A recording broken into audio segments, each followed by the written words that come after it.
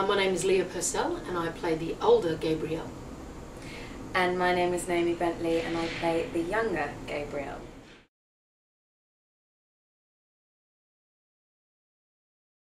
And a fish fell out of the sky and landed at my feet. And it still smelt of the sea. When we first meet Gabrielle, she is bored with her life, with her existence, with this place, with the smell, with the look, with the weather. She is completely dying. I do not believe in God. I do not believe in miracles. I, I cannot explain this. It began with a phone call.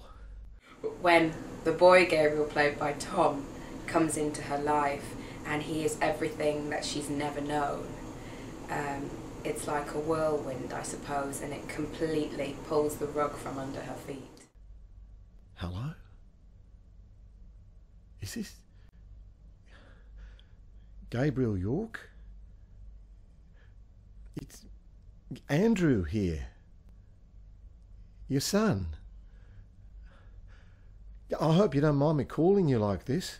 My character is in 2013 and I'm, we're living in Adelaide and I I'm in the early stages of dementia and I haven't um, heard from my son in seven years and I'm now and, and at the stage of, of of having having coming from this life of what Naomi um, described before, she's at the end of her tether. She's she's had enough, and knowing that she has to face dementia, she doesn't want to want to go there.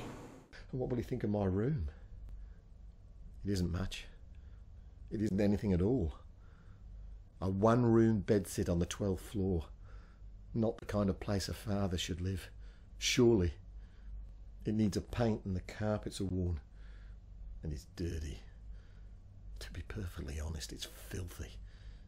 My job as playing the younger Gabrielle is to inform the audience as to how she ends up the way you play her. Yes. And so the way I approach, I think the way we both approach them were as separate characters in a way, and then we put mannerisms in that we both share.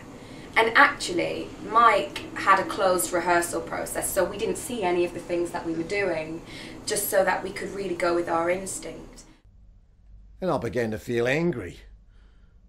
Why did he call? Why is he doing this? What does he want from me? Money, is that it? Does he think I'm worth something? Does he think I owe him something?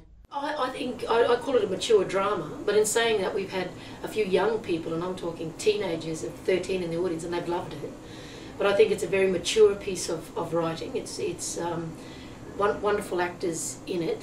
Um, it goes to a dark place, so if you're looking for a nice cry, bring a tissue.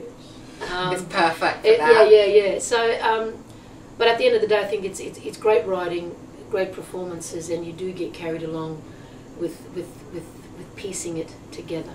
It's great when you hear the audience gasp. Yeah, and get get something said and something clicks and you hear them go oh, and it's just that's really rewarding Yeah. because it means that they care. And and the, I think what's been lovely about this is, is how much we've all cared for it. And it's been important that we are a complete ensemble and it is a script that that needs that attitude.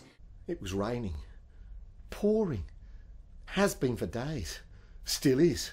The river is swollen and threatening to break its banks. Two of the bridges have already been closed, and I didn't know whether I'd make it to the shops or even what I'd buy when I got there, and it was too much. I just couldn't manage it. I couldn't look after him then, and I still can't. I just can't. I opened my mouth.